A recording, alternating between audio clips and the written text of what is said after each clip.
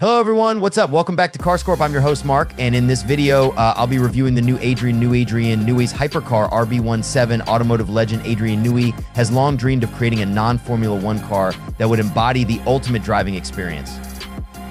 The RB17 is a track-only hypercar that pushes the boundaries of automotive engineering. It features a screaming Red Bull spec, Cosworth made 1000 bhp 4.5 liter V10 engine that can rev to an astonishing 15,000 RPM. To supplement this raw power, a 200 bhpe motor provides instant torque. The RB17's powertrain is a masterpiece of engineering.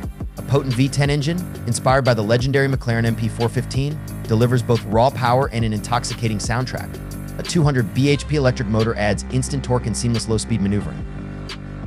This meticulous approach ensures that when the RB17 finally hits the track in summer 2025, it will be a honed and perfected machine representing the pinnacle of hypercar engineering. With a production run limited to 50 units, the RB17 is destined to be a prized possession for a select few. Unlike most hypercars, the RB17 prioritizes driver engagement and comfort. It features a two-seat configuration with staggered seating for optimal visibility. The cabin is spacious enough for luggage and equipment, making it adaptable to various driving experiences. Despite weighing under 900 kilograms, the RB17 exudes an imposing presence with its extended dimensions and sleek lines.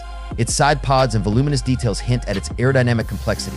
Porosity is a key feature with numerous open spaces and ducts to channel air efficiently. Red Bull has partnered with Michelin to develop three distinct tire compounds for the RB17, a standard slick, more extreme confidential option offering peak grip, and a treaded tire for specific conditions. Subscribe to CarsCorp to stay up to date on the latest news about the upcoming cars and be among the first to experience the aesthetic blend of style and performance.